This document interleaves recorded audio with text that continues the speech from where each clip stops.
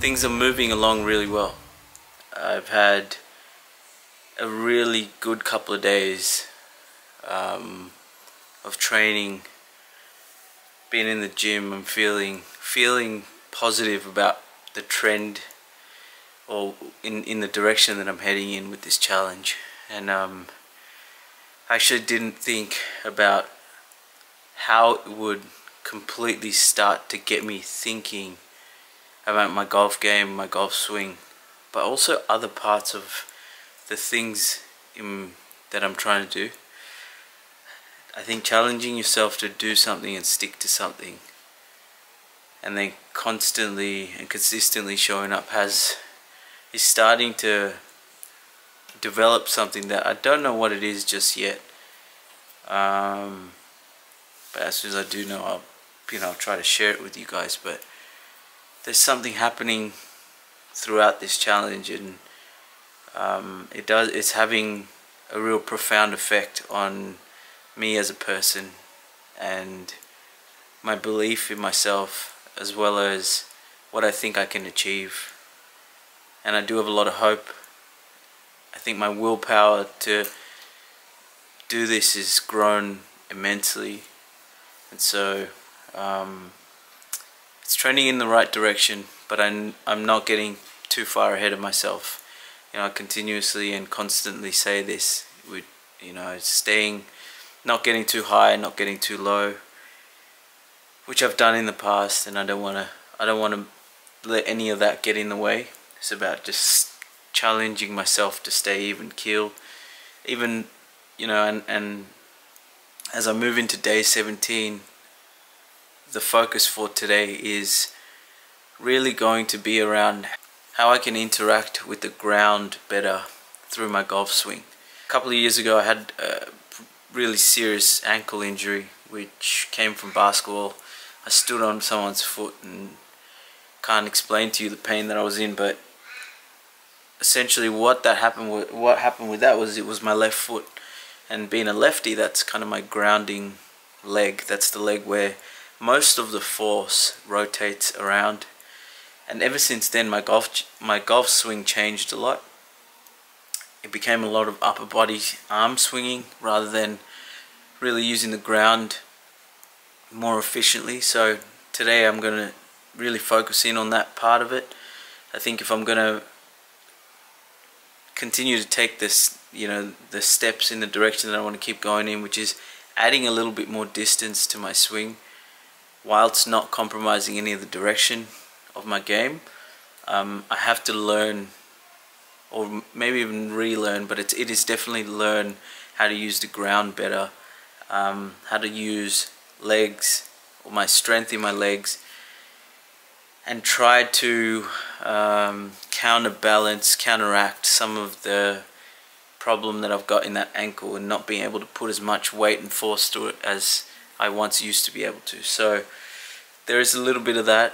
Um, yesterday's session was good, the first one out of the TrackMan session. So the speed training I'm doing, I'm gonna leave that for every second day.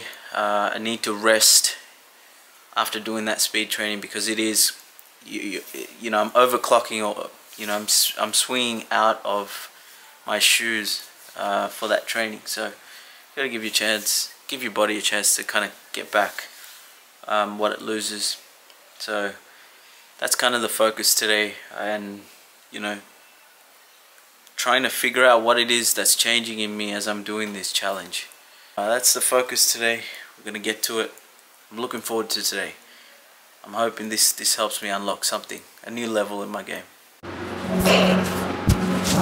Alright, so do have Trackman here with me today.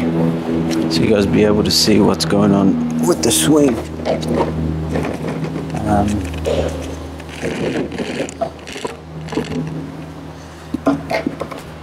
start this warm up.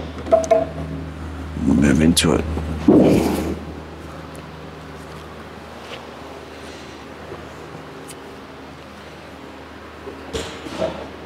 Tommy Fleetwood's.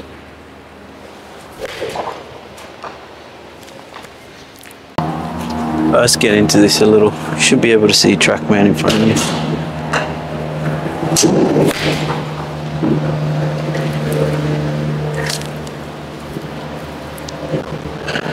Mm, look at the heel strike.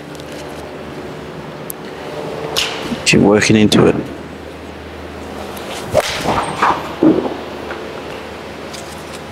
It's a good ball.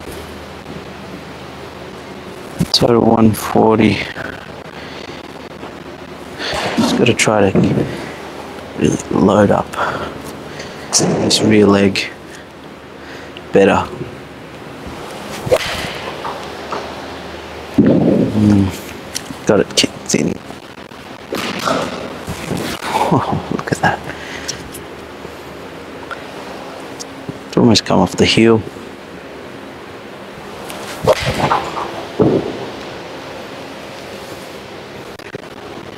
Good shot. A lot of. It's interesting.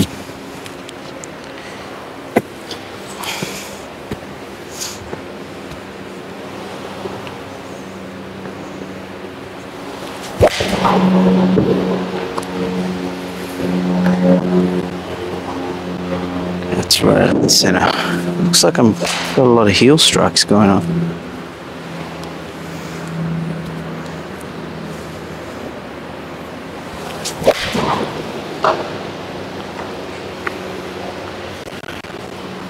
No. There it is again. Another heel strike.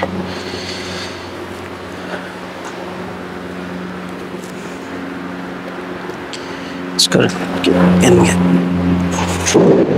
Alright, I'm gonna try something here. I'm just gonna go patience here and swing from here down. So get it in the slot and then swing from there.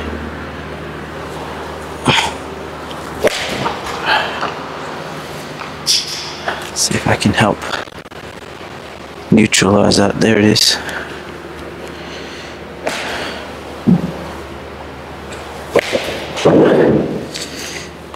It's a good drill to just get that ball. Square that club face up a little better.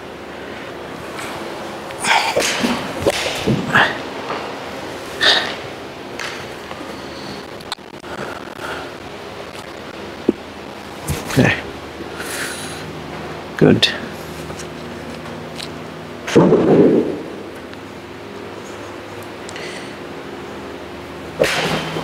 Just there.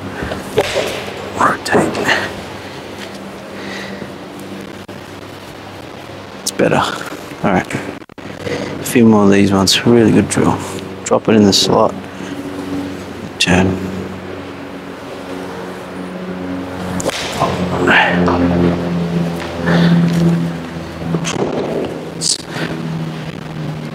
Middle. What's funny is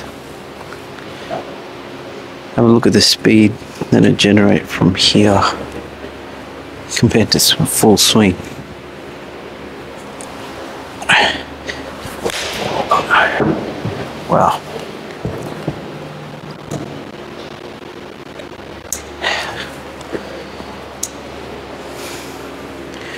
Try this drill for a little bit longer.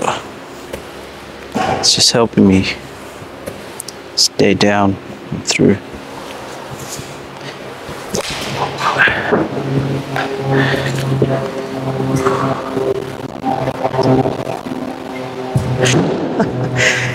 Okay, what? It's teaching me something. Have a look at those numbers.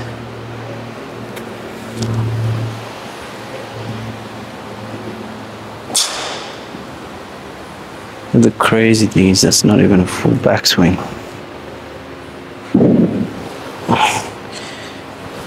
Oh, that's bad. Try that again. That's why we practice stuff. It's about generating as much speed from that impact as possible. Look at that.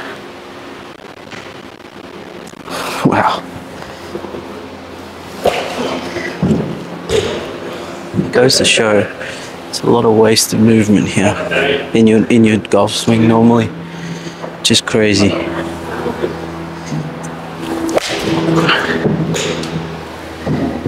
That's insane.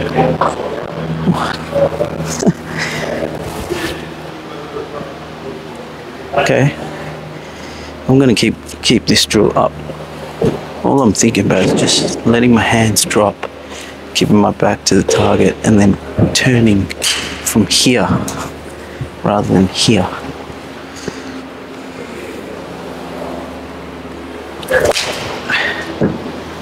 We're going to keep that drill going.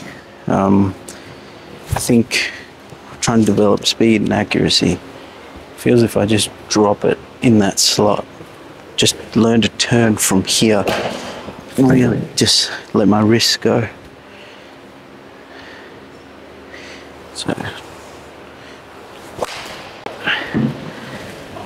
It's gonna it's very weird. Very weird feeling.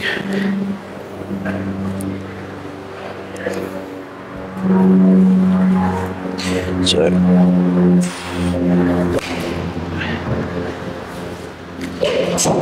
they sound a little bit weird too.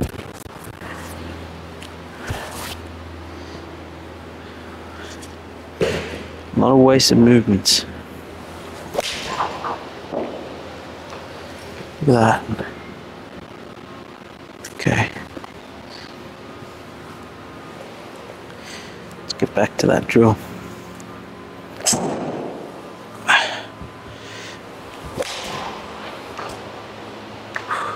That should be solid. Yeah.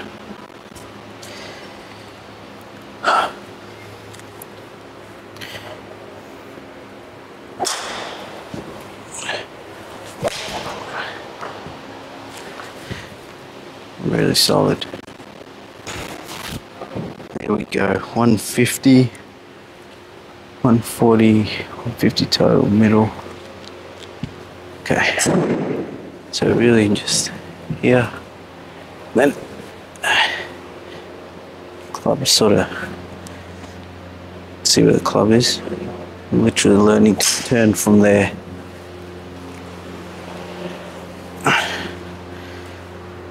Let my hands go as much as I can.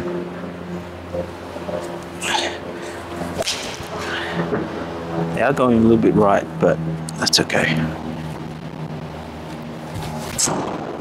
Total numbers up.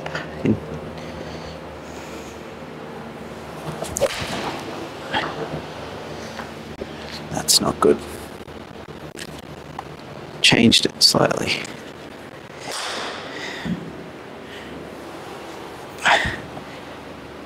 Want that club to get too far behind me. Need it to stay.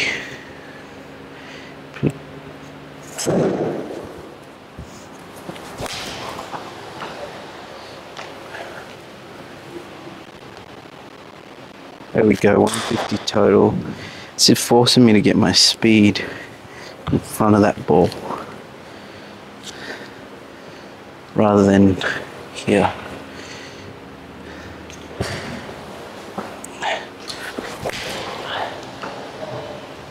Wow. 152, 143 carry. Definitely picked up on something here.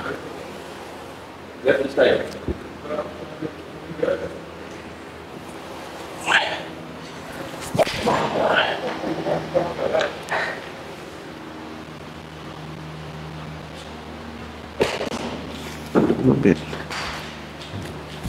a bit high. Face.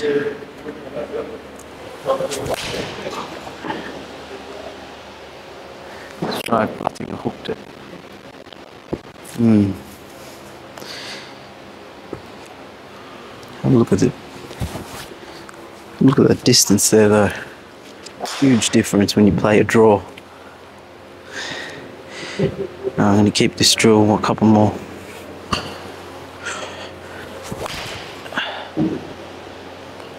Hmm, a little bit thin. But those numbers are up.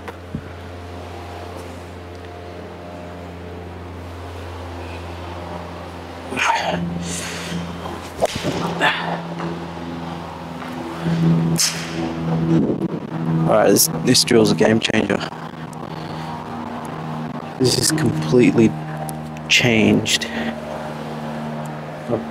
Picked up five meters.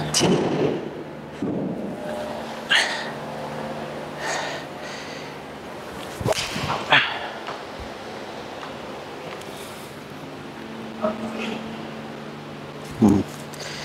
Dropped off there.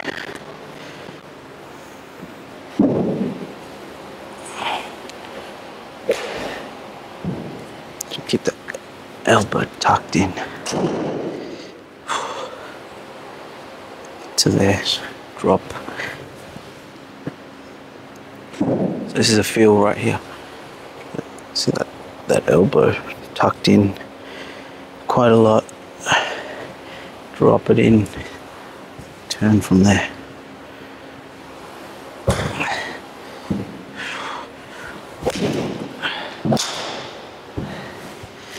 It's probably left. Yeah. Alright.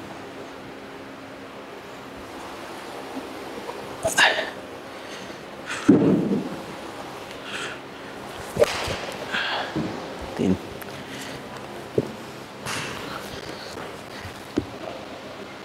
straight 150.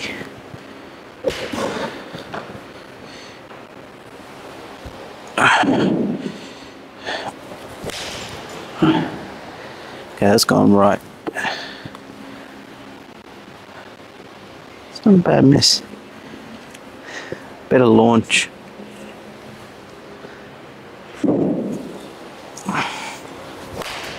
Ah, it's a bad miss.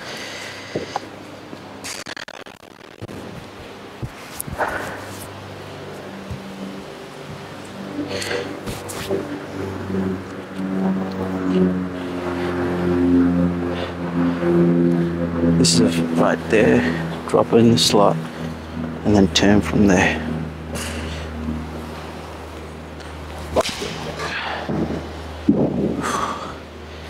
Really focus on like that loading into this foot here, rear foot, pushing and sitting down on it, really pushing off as much as I can.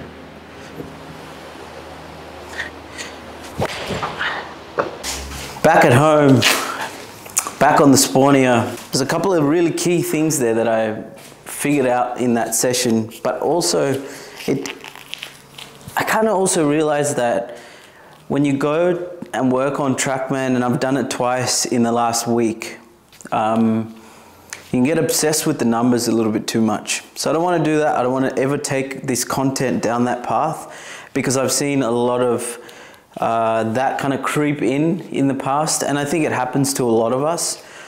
So I'm just going to focus on what I'm feeling, what I'm seeing, and kind of just let the game and the results talk for themselves. But I wanted to quickly touch on what I had just picked up on that last session or that last few balls that I hit. Um, I realized that my grip was actually quite weak. It was quite over the top with that trailing arm. And, and what that's causing is because I turn quite aggressively, in my mind, I think that I'm turning to square the club head up. But in fact, because I turn so aggressively, I end up turning to the point where I leave the club head open like that. And with a weak grip, that's all that's going to happen. So I've got to just strengthen my grip just a little bit. And all I'm doing for that is literally just twisting my arm or my hand, that trail arm, getting a little bit more underneath the club. Not too much, not exaggerated. And when I did that, my club path improved. I hit the ball from the middle a lot more often. I left the fade. Granted, I still didn't release the club properly today. So you're not going to have your best stuff every single day. Um, that was kind of what I picked up on in that session. And then the other thing which like surprised me so much was how much power and speed I generated with that drill And I just wanted to emphasize what I was working on there. That drill is what I'm telling myself is go back, take the club back to, to the top, and let my back face the target. Almost a full turn. See that position? Elbow tucked in. That's what I'm going for. Right or wrong, I don't know who teaches it, I don't know who, who doesn't. This is what I'm going to do for my game. I'm going back, turn, elbow as close to body as possible, tucked in, not chicken winged out. And now as I, instead of turning, what I'm focusing on is just put, getting that club to drop, or as Sergio Garcia calls it, pulling the lever. And you're not really pulling, I'm not really pulling too much. I'm literally just letting gravity do a lot and then waiting for my opportunity to turn from here, from this position, rather than turning from up here. See what I'm talking about? And so it's just this, and it's, I mean, there are going to be some terrible strikes here. So this, I'm going to call the pump drill. So here, I'm not worried about the impact. I just want to. And from this point, what I'm thinking about is really loading up. And what I mean by loading up for me, the thought that I'm having, is almost sitting down on that rear left leg, turning around on it.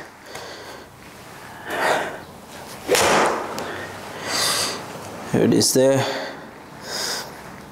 So here, controlling that club face a lot better.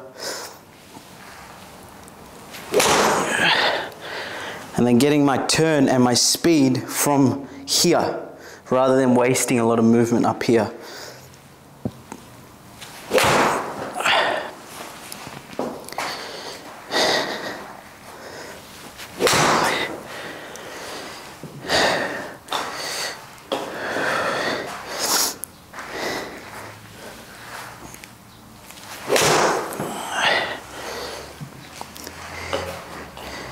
Funny thing after doing this drill was I saw that my club, my ball distance was good. I hit the heel of the club or favored the heel of the club today, which I've, I've done in the past a little bit. So I do want to get back to uh, closer to the middle, obviously.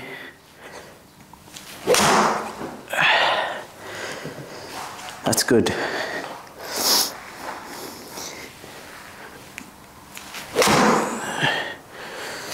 But yeah, that was a really quick look at what I took away. Plenty, plenty of good stuff. I worked something out.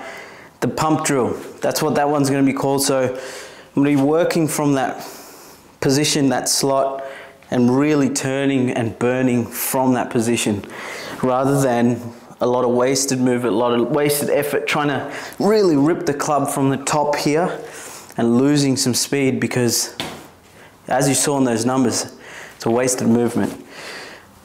We're getting smarter, we're getting better, and that's all we can ask for, right? So, hey man, we just keep finding a way. We'll just keep pushing forward.